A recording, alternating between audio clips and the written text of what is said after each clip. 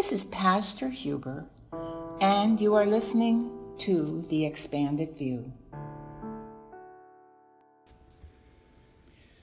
Almighty Creator of all, we give thanks for our bountiful life living in freedom.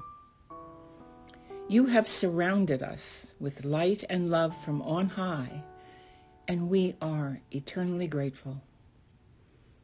We ask that you continue to guide us and protect us as we go forth to accomplish our spiritual mission, the one given to us for this lifetime. We give thanks for our health and prosperity and for the loving relationships we enjoy. Bless those around us and around the world who are in need of upliftment encouragement, and guidance so that they can see their spiritual path clearly, so that they then will willingly join the light workers in their peacemaking efforts. We ask that all peacemakers are given your highest protection and guidance to create a new loving world under divine law in accordance with your will.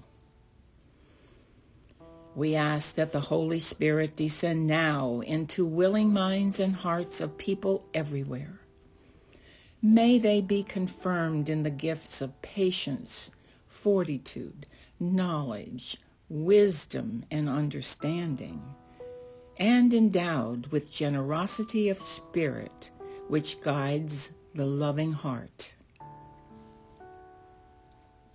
Raise up all of us in our day-to-day tasks, ensuring that our measure of light is sent out into the world in joy and praise. Bring hope to those who are faltering and afraid. Look after the children of the world, and they might see the divine plan in action. Bless those who are the comforters healers, and teachers to others. Protect our nation and guide us to see clearly the path to take, which will lead to the renewal and restoration of the original intent designed for the Constitution of the United States.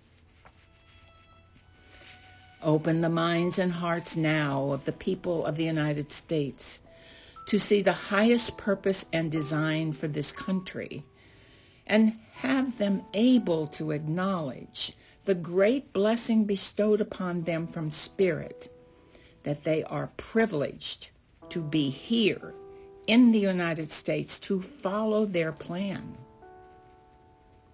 Let the collective positive energy now gather momentum and lift us into a new and finer world.